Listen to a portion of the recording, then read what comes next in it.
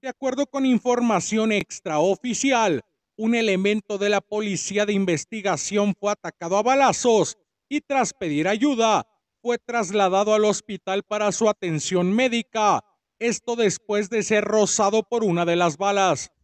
Los hechos ocurrieron en el entronque de Cedral y 14, donde supuestamente se encontraba un falso retén, sin conocerse el motivo del mismo y sin tener la noción de la presumible llegada del elemento. Trascendió que fue en el sitio donde se originó el ataque al policía, quien al verse sorprendido por los disparos, se trasladó a la comandancia de la policía cedralense, quienes le brindaron auxilio y pidieron apoyo a diferentes corporaciones a través de un grupo que se tiene en conjunto con las autoridades.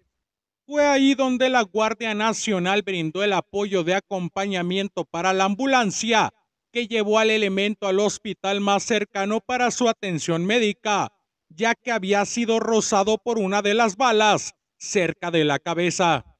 Durante horas se manejaron versiones de otros hechos delictivos, como el presunto ataque hacia el jefe de la policía de Cedral, mismo que fue descartado por personal de la dependencia, además de otro supuesto ataque a la comandancia de la policía en el municipio de Vanegas, el cual también fue desmentido por parte de las autoridades locales, ambos de manera extraoficial. Jesús Valencia, corresponsal Son Altiplano, Noticieros Canal 7.